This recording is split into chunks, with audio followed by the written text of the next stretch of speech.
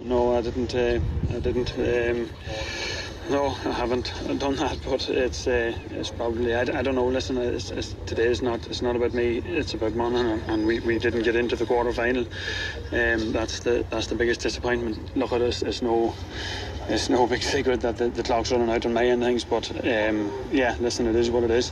Dwell on the game maybe as well, but from what you saw in the first 40 or 45 minutes before you came onto the field, you got off to a, a blinding start, but it was the first 15